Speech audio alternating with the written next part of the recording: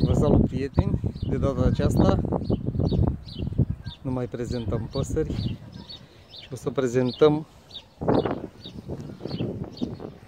modul de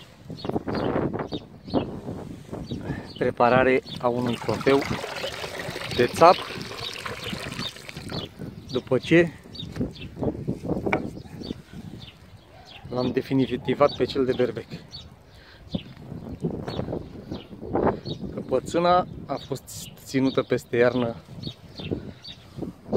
pe un șopron al unui cioban. Am intrat în posesie ei acum câteva zile. Cum observați, pielea a fost întărită și uscată. Am ținut-o la muiat cu biocid. Acum urmând să mă ocup de ea, pentru că în final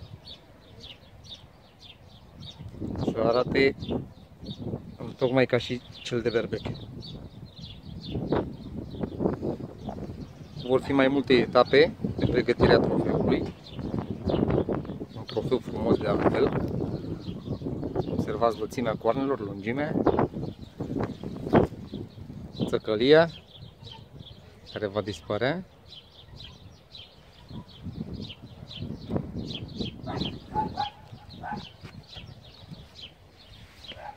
Pentru toți iubitorii de trofee am ales să fac aceste clipuri pe durata câtorva episoade pentru că ele lipsesc din peisajul